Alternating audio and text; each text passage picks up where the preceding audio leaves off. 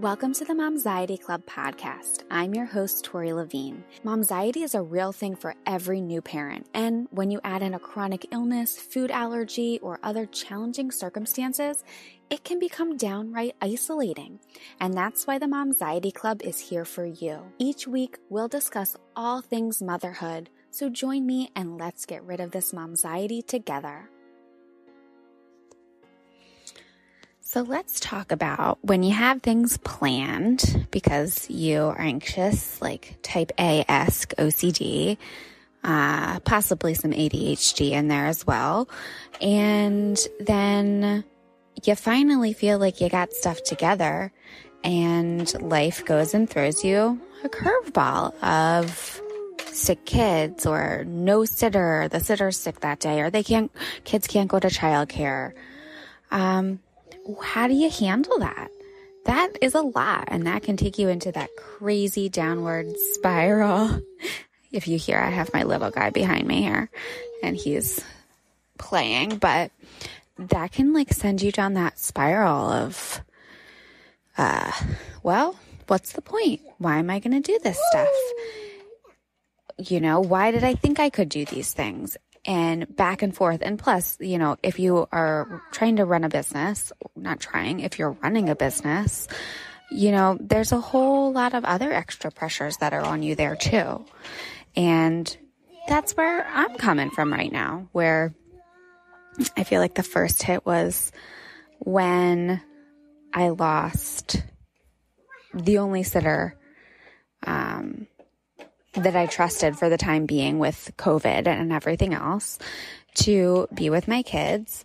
And so that threw me into trying to figure out how to run a business without childcare again, which is how I started, but it was a lot different now. Um, and then just sick kids here and there. How does that work? Or, you know, spouse being called to work for emergencies or all different things. I was all ready and I had everything all planned out for this past week, which was um, Crohn's and Colitis Awareness Week. And then what happens? One of my Ruben got sick. He had his infusion last week. I did a whole like video thing, which is still being done about, you know, what it's like going to the hospital every four to six weeks and getting his infusion and those types of things, like a day out of our life. Um, day out of our lives and that hasn't been finished. I had a lot of other stuff I wanted to do to promote awareness and be much more uh, public on social media. And that didn't happen because we, he got sick then, uh, last Sunday. So like two days after his infusion, which used to happen all the time and hasn't in a while. I guess I'm just out of practice. Um, but got sick, then got better. Eli got really sick. Spent that was a night of me sleeping into in his toddler bed with him because he could not stay asleep and all this different stuff. And I knew if he came into our bed, you know, there's then how many people do we want to get sick is like the question is do you I so I tried to go in there and stay with him so that if Ruben came into our bed, he wasn't getting sick again and my husband wasn't, you know, being coughed in their mouth and everything that I did all night long. Um, then finally, you know, that was, I forget, Thursday, Friday. And uh, Friday night then, so Ruben was out Monday, Tuesday from school. Went, got tested at the doctor, was able to go back. Everything was negative. Um, then Eli got sick and then I convinced myself in and out, in and out, in and out that he had shingles. Not shingles, sorry, that he had chickenpox. I convinced myself. Then I read about it and said like the incubation period. This is just because, um, over Thanksgiving, one of his aunts had shingles and we were with her and you can you can't get shingles from somebody with shingles, but you can get shingles or you can get chickenpox from somebody who has shingles. But it's not airborne. You have to physically touch the shingles blister, which wasn't happening. And everything was covered, all this different stuff. Because I actually had shingles when Ruben was about two, right between my breasts on my chest and I had to bandage it up like crazy because he was still nursing. And so I don't remember how old he was actually, but he was still nursing and his hand would go there all the time and he didn't get chicken pox. So like if you you can definitely be in way more contact. So sorry, I got interrupted. Um, but yeah, so I knew it was fine to be, there wasn't an issue. I even checked with the doctor again, the pediatrician, and knew it was fine. Everything was covered. There was no issue. But just because of that, I convinced myself 90 times that he had chickenpox because they've only had their first shots because Eli's two and you get your first one when you're young and then the second one when you're four. And Ruben couldn't get his second shot because he had already started on his medication infusions that are like immunomodulators. So he couldn't get a live virus vaccine. So both of them were in the same boat, but they didn't touch anything. Nothing was there. So that's just one of those things. Like I could have convinced myself it was anything. Of course, I was looking up incubation periods and all this different stuff and trying to see, oh, is this what this looks like? But whatever. So it just gives you an idea of if you are convinced about something and then not convinced that you're not the only one. It happens to everybody. And so Ruben was able to go to school for a couple days uh, Friday night, Saturday, he started feeling sick again. And today's Sunday that I'm recording this, but, and then Saturday night, just downhill super fast.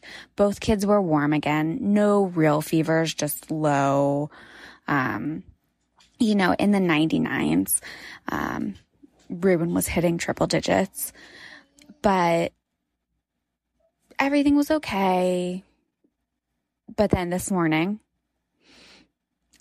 thank you to my husband. He actually let me sleep in this morning, which was like crazy because I normally just get up and I don't like try to because I don't know, sometimes sleeping in makes me feel worse. But so yeah, I had tons of stuff to do. Our house right now is a disaster zone because laundry has not been taken care of because dealing with two sick kids. And what does like a disaster zone do to my anxiety and my coping? Uh, it just makes it go out the window because I feel like everything is, it just makes me feel like I can't do anything because I visually see, well, you didn't get that done or that didn't happen. So you're obviously failing at running a house and taking care of kids and all this other stuff. But really, I know in the back of my head I'm not. Um, that's not how it works. You have sick kids, like stuff gets thrown out the window and plans get like there's an upheaval of plans. But yeah, that's just kind of how things have been. And then Ruben couldn't sleep last night because his throat was so bad. He actually asked, he said, Mommy, I think that can we go to the doctor tomorrow? Uh, last night. And they said, Oh, well, let's see how you are. And yeah, then Eli last night, I could hear him. I don't know if it was because he was like too congested, but he was asleep and making lots of noise and I felt bad. And then yeah, Ruben's just not eating this morning. We had a IBD scary thing last night, which has not happened in forever. There was, we saw, there was blood. He actually went to the bathroom and then I know this is TMI, but this is what it's like having a kid with a chronic illness that deals with your digestive system. It's like, um, the poop poop uh, surveyor. And I mean, all parents are like that for a, a, good amount of time. But he said, Mommy, there's, there's blood. And I was like, oh, I've been worried after his infusions went from four weeks to six weeks. We've had a little bit of like belly aches, but very rare. Things are still going okay. And I did just tell my husband like a while ago, I said, I'm a little worried with kind of like I can see that possible downward trend and then that and that last night. And I don't think there's been anything like that in years, which is wonderful, but also then scary. And there can be these fluke things. He's sick too, you know, you know, that can mean a million different things. Um, but actually, surprisingly, I was able to not freak out so much about that. I was like, okay, well, great. Thanks for telling us, buddy. Just tell us again if that happens. Um, and it's more just like the regular cold sickness symptom, symptoms. Uh, this morning, then my husband said, yep, Ruben threw up. He wouldn't eat. He's really ill. Um, so that's where we are. Just passing things back and forth, trying to keep the kids separate, which obviously is very challenging. Um, but just, I feel like being in this, what is going on is some of the hardest stuff because we couldn't get into the doctor. We're going to call and go to the doctor again tomorrow, hopefully, um, to get COVID and flu tests again because my husband is worried it's the flu now. So yeah, well, my plans of writing a proposal, updating things, for work and, you know, seeing clients that I still see in person. That is, I just had to send everybody a message to say, sorry, I'm, I just, we need to cancel for this week because both my kids are sick and I don't want to worry about passing anything on to you guys. And that's just how it is. So, you know what? Take deep breaths, mama. When I know, and I was actually just reading something my best friend posted and shared an article, which I'll try to link to in the show notes about you know, burnout in parents with sick kids uh, during the past two years. And I was reading some of it last night. And yeah, it is. There's so much stuff. It is hard. And it is even harder now because of like the stringent things that childcare settings, uh, and basically everywhere is doing you know, even if they just have the sniffles, you have to go get a test. They can't be showing signs or symptoms of anything. So that's putting a lot more strain on parents having to take off time from work or trying to work from home with their kids and going down that, well, am I paying attention to my kid or am I just paying attention to my work? Those types of things. But I just want to share it's okay. Plans do go out the window everybody's saying like self care, do self care. Self care is really hard right now. I think I either dreamed it or we talked about it last night. We said how like we wanted to go out on a date. We haven't been out on a date in years. And, uh, that is trying and just everything. I can't just go, you know, self care for some people is having time to themselves. Self care is exercising on their own. Self care is going and getting massage, getting their nails done. It can be a million different things. But a lot of that is so hard right now when we don't have time. We can't do anything for ourselves because we're taking care of sick kids, the house, business, work. And it is get burned out when you put yourself last. But just having a place to talk about it and like know that you're not alone can be really helpful. Somebody inside the Momxiety Club said, Is anybody else's anxiety just showing up as anger recently? And I'm going to be like, Yep, yes, that is exactly what's going on um, here too. So that's one of the benefits of having the Mom Anxiety Club community to be able to talk about those things and the support sessions. I know there's Zoom fatigue and everything, especially if you're working on from home and tons of Zoom meetings. But there is a difference when you come to a support session and you just get to talk about you. It's not, it's not work. It's not whatever. It's you. You just get to vent. And if your kid's there, great. They can come along in and just sit there. That's actually how my last session was. Eli just sat with me. So just wanted to share all that and let you know, mom, you not, you are not alone. It's happening to a lot of people. Some people are able to just deal with it differently. Some people it puts into a downward spiral. And the only thing that you can do right now and what we all can do is talk about it and know that this is a really, really crappy time. Still, still, this is a crappy time.